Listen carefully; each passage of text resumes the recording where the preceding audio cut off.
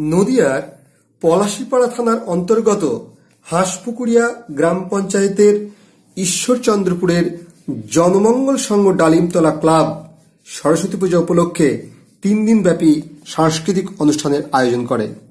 এই সাংস্কৃতিক অনুষ্ঠানের দ্বিতীয় দিনে এলাকার দুস্থ, অসহায় মহিলা ও পুরুষের হাতে বস্ত্র তুলে দেওয়া হয়।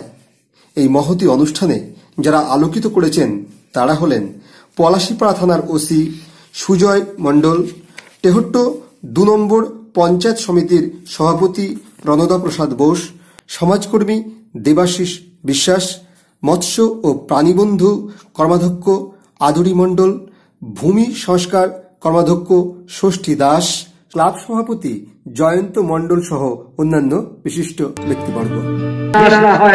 আমরা মানুষের মঙ্গলে কাজ করতে পারি।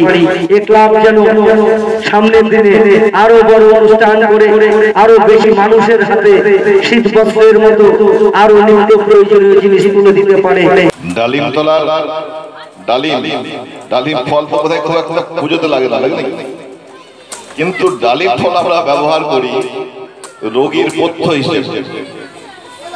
সেই হিসেবে যদি মনে করি এরা রোগীর সহায়ক রুগী রুগী আর পেশেন্ট সেই অর্থেও ডালিম তোলার নামটা খুব মানিয়েছে আর যাই হোক এদেরকে অনেক শুভেচ্ছা।